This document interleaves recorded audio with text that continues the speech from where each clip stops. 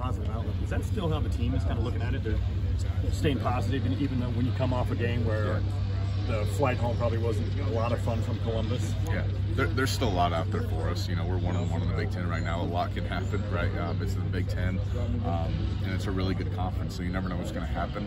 And you know, if we just take it day by day and just try to improve and get better each week, you know, all our goals are still out there for us. And you know, um, if the Big Ten title, I mean, it's still in reach, right? We just have to we have to control what we can control, and that's just coming in here every day and working and take it game by game. From the perspective of an offensive lineman, what does Yahya Black do that kind of makes him so good? He is one. He's six foot six and 340 pounds, so that makes it hard. Um, what, I just the run. I think the run game is what stands out to me the most. He is the hardest defensive tackle I've ever had to block in, the run game. I mean, one, he's so smart, and then he's just huge. He just understands everything, and you know, um, going against him now for three years, he's made me a lot better. But like, I don't think there's a better run game defensive tackle out there in the country, and I, will stand by that.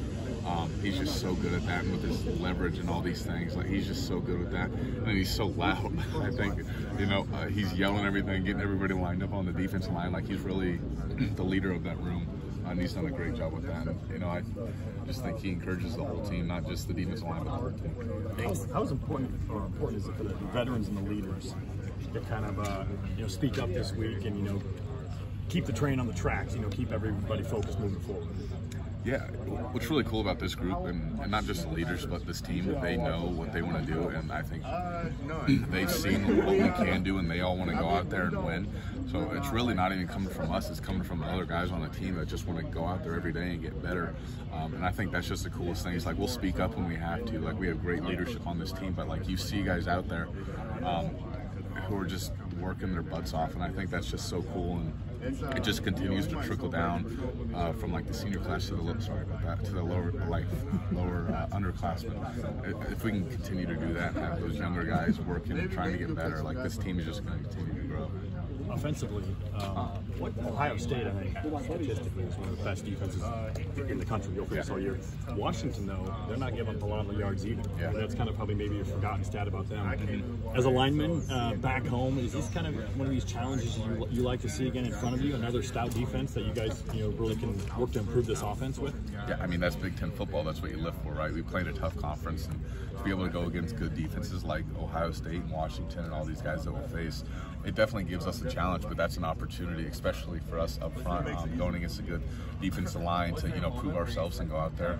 Um, and open up holes. And if we do that, you know, it, it, definitely gives us some encouragement and definitely high energy just to be able to move guys, which is our which is our job, and it just makes it so much more fun to be able to move good defensive linemen around. Look, I know the schedule's been the schedule, but a team from the Pacific Northwest is coming to play a conference game in Iowa City. Is that a, is that a weird thought to you? it, it is kind of weird. Um, somebody from way over there, I know. It, I know their stadium is actually really cool. I was kind of, I, have always wanted to see all the other Big Ten schools and stadiums and whatnot. Um, and I know theirs is pretty cool. I, I, Googled it, but it'll definitely be interesting having them come here, you know, seeing Kinnick. Um, I don't think a lot of people understand what it's like to play in Kinnick, so I think they'll be shocked when they get here What? the importance of maybe establishing Kaleb early.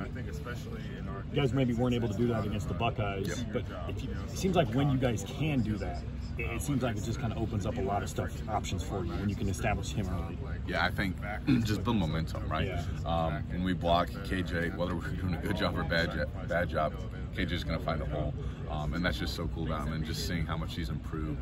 Yeah, if we can establish him early, get him going and build some momentum, like it definitely gives us some energy up front. And then we establish the run game, boom, now we're going to hit a deep ball. I mean, if we can just get him the ball, get running, um, it can definitely open up so many more things. You got your teammate Deontay Craig over there. What's it like going up against him in practice? Man, uh, I haven't. I only go up against him in about two minute drills and things like that when he moves from the end to the tackle, but it's fun. Um, we we've been pretty close friends since freshman year. Um, he was on the fourth floor with me, but it's awesome all those battles. Like he gets me, I'll get him. Uh, it, it's a lot of fun though, and I love when he comes inside because it's just a bunch of trash talk, and it's, it's pretty fun. I love it. What's he kind of like as a teammate then, having